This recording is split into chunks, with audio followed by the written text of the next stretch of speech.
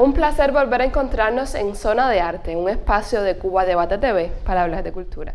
Hoy se encuentra con nosotros Yero, director de una joven agrupación de música popular. Gracias por estar. Y su director musical, Jorman Almagro. Gracias también. Bueno, cuéntame un poco cómo surge esta agrupación, desde, desde cuándo, desde qué año, en qué contexto, la idea, de quién fue. Bueno, sí, eh, bueno, eh, primero de todo saludar a todas las personas que nos están viendo a través de este maravilloso programa. Y bueno, la orquesta, yo empecé con las ideas musicales de, empezar a hacer, a componer las canciones y eso alrededor del año 2013, 2014. Y entonces ya yo conocí a Jorman que trabajaba en la orquesta de mi familia, La Caruana y en la cual yo también estaba como trompetista y eso. Y entonces eh, le digo a John Man, mira, tengo unas canciones para que quiero hacer, no sé, quiero grabarlas y esto que tú crees. Y entonces se las mostré y John empezó a colaborar conmigo en ese momento, empezamos a hacer las maquetas eh, ahí en la casa.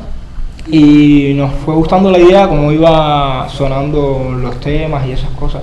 Entonces decidimos grabar el primer tema eh, en el 2019 y, vimos el resultado que, quedó en cuanto a grabación, eh, calidad musical y eso. Y entonces se lo empezamos a, mostrar a la gente y dijeron, eh, lancen el proyecto, que está bueno, esto, lo otro. Y bueno, ya decidimos en el tiempo de la pandemia, cuando ya casi acabándose, decidimos ya empezar a grabar el disco y tomarnos más en serio la, lo que es la, eh, la orquesta, ¿no? Entonces juntamos a los músicos, empezamos a grabar y de ahí sale eh, nuestro primer disco, el cual se titula Vengo Duro, que cuenta con 10 temas. Y bueno, le hablo un poco más. Antes, antes de empezar con el disco, Jorman, ¿cuáles son las características de esta agrupación que la diferencian de otras que también defienden la música popular bailable? Sí, en Cuba todos sabemos lo, o sea, lo, lo difícil que es competir con esta, o sea, en, esta, en esta categoría ¿no? de, de, de música bailable porque hay mucha calidad en, el, patio y, ¿cómo se llama esto? Y, es difícil realmente cuando uno se, propone hacer una, propuesta diferente, eh, es difícil saber por dónde, por dónde ir, que no se parezca, ¿no? que no caer en la repetición de lo mismo y, entonces tratar de crear algo. Pero, pero en este caso, lo primero que me interesó cuando vi a Ero y sus propuestas de de, o sea, las canciones, las ideas que tenía y eso, lo primero que me gustó fue eh, el timbre que tenía, que es un timbre que no se parece a nadie, quizás heredado de su mamá, que su mamá también tiene una voz eh, es también peculiar, diferente de las o sea, pues, tú ves, por ejemplo, oyes a 20 gente cantando, oyes eh, eso, y, la voz, la voz de ellos, tú sientes la, diferencia amplia. ¿Por qué? Porque tiene una tesitura alta, eh, eh, el color de la voz. El color de la voz diferente. Tiene su sello particular. Y entonces pues, Yero heredó eso de su mamá. Y la otra es la, o sea, la, la, manera de, no sé, dirigirse en la tarima, de, la bomba que tienen para, la chispa que tienen para comunicarse con el público, que eso, es importante también un cantante, un cantante es un comunicador también, es la persona que, que exterioriza los, o sea, los los temas o que desmenuza los temas de una canción. Y entonces, ah, eh, la diferencia es esa. Una es las cualidades de él como cantante y, como persona, y lo, y lo otro es la parte amplia, la, la parte de la producción musical, Que tratamos de buscar eh, colores frescos, cosas que fueran diferentes, eh, colores más modernos, de acorde a la, o sea, a la, generación que representa Aero. Regresando al disco, me decían que eran 10 canciones. ¿Todas son compuestas por, por ti o, En el disco 7 canciones son de mi autoría y 3 son cover y todos los arreglos musicales son de John. ¿Quiénes participan en la concepción de este disco? Bueno, tenemos invitado a Cotó, el tercero, que bueno, conocido por Buenavista Social Club, eh, y maravillosos músicos que están en diversas orquestas eh, como Rubacá, Marcos Cruzada, eh, Pombo Asia, entre otros. ¿El formato de la agrupación cuál es? tenemos cinco metales, de ellos dos trombones, dos trompetas y un saxo. Tenemos cuatro percusionistas, eh, piano, teclado, bajo y dos coros y yo como vocalista principal. Yero, las letras de las canciones de este disco, ¿de qué hablan? ¿Qué te inspiras? ¿Cuáles son tus musas? Bueno, una de eh, eh, hablamos mucho de lo que de nuestra cultura eh, cubana, ¿sabes? En, cuanto a letras, mm, no son religiosas, pero alguna, alguna, algunas canciones tiene, otras es más del amor, temas como eh, casi todos son inspirados en, amor y, esas cosas así. O sea, esas son tus musas, el amor, la cotidianidad, la vida. Exactamente. Y los reflejas en este disco. ¿Bajo qué sello va a salir? Bueno, próximamente va a salir bajo el sello discográfico Biz Music, en el cual estamos en negociación ahora mismo. Y bueno, pronto estará disponible. ¿Y cuáles son las aspiraciones con este disco? Bueno, llegar al bailador que que sintonice con nuestra música y se, y se sienta cómodo y lo pueda disfrutar.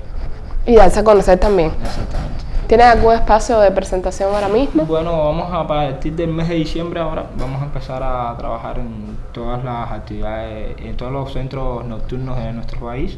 Y bueno, tenemos algunas propuestas de giras internacionales, pero todavía están en, en conversación. Ahorita me decías de que eras instrumentista. Sí y eres también a la vez cantante en tu, en tu agrupación. ¿En qué momento te diste cuenta que era el canto un vehículo para satisfacer esas necesidades creativas que tienes como artista? A ver, desde niño a mí me gustaba cantar, eh, eh, incluso nosotros hacíamos en, en, mamá nos preparaba a mis primos que también son músicos, eh, porque vengo de una familia musical, como les dije, de la Caraván. Y entonces desde niño nosotros en los CDR y eso eh, hacíamos como espectáculos así con 7, 8 años y eso. Y ahí yo cantaba. Entonces entro en la escuela de música como trompetista, me gradué de trompeta y entonces eh, empiezo a trabajar con la orquesta de mi familia, la Caraván, y empiezo a hacer ya giras internacionales. Y mi tío Blas, el director, me da la posibilidad de empezar a cantar entre los conciertos. Mi mamá es la, la vocalista principal pero me daba para yo cantar uno o dos temas en, dentro del repertorio. Y entonces así me fui cujeando, aprendiendo y, y ya me, me, fue gustando eso del canto. Hasta que ya empecé a componer y eso y, y bueno, decidí lanzarme el proyecto. Jorman, desde tu experiencia como productor musical, ¿qué futuro le vaticinas a esta agrupación?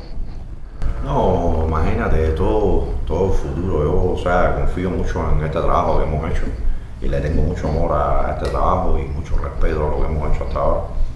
Y, o sea, no, no, no veo límites lo que se pueda. Ya sabes, como todo en la vida hay que trabajar, hay que, eh, no sé, eh, ser constante en con las cosas, ¿me entiendes?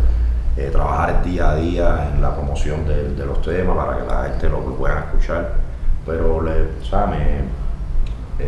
le veo un futuro promisorio a este proyecto y, y, la gente convocarlo para que, para que, para que lo oigan, lo disfruten y, en este disco y en, la, y en el trabajo de la banda, ¿cuáles son los principales géneros que defienden? Siempre me imagino que tengan que ver con la música popular, bailable, con las raíces de la, de la música cubana. Exacto. Eh, en este disco como tal tenemos eh, timba, salsa, son, bachata, baladas, pero eh, es una fusión, tenemos fusión también dentro del disco, pero Jerry y la Grande Iván en sí hacemos música popular bailable, pero nuestro nuestra visión, nuestro enfoque es hacer música, sea urbana, sea lo que sea, porque mañana podemos hacer un tema urbano o un próximo disco. ¿No entiendes? No, no nos encasillamos en un solo género, aunque sí defendemos la música cubana como tal y la fusionamos. ¿Cuán difícil es hacer música popular bailable manteniendo la esencia, las raíces y a la vez siendo atractiva para los más jóvenes. Eso en la parte de la producción musical es muy difícil, porque imagínense, venimos, imagínense, venimos de un, en un país, tenemos un país donde tenemos un acervo cultural muy amplio. un país muy musical. Muy musical. Entonces, imagínense, saber beber de esas cosas y, y hacer una propuesta diferente donde la música es un, como, como muchos dicen, que ya la música todo está creado. Entonces, hacer algo paralelo a eso, eh, absorbiendo todo eso y, y llevarlo a las nuevas generaciones es muy difícil. De hecho, ahora lo estamos viendo eh, cuán difícil es que, que hay otra, otros géneros, otras, eh, Tendencias musicales. otras tendencias musicales que nos han penetrado. eh, aparte, eso es, es multi, eh, multi, ¿cómo se llama? Multi, Factorial. multifactorial, ¿no? Pero eh, una de las cosas es lo difícil que es eh, preservar, un, una, preservar un arte que, tenga la, la- que tenga la esencia de lo, de, lo, de lo como inició, pero después entonces irlo renovando en el tiempo, irlo retroalimentando, es, es muy complejo. Entonces, pienso que eso es una de las tareas más difíciles que tiene un director musical, eh, lograr absorber esas, esas cualidades, esos colores, esos matices de, de los, de, los, de los padres creadores como de la música y saberlo llevar a estos tiempos es difícil porque los tiempos son otros, los gustos son otros, lo- los jóvenes son otros, que son los que...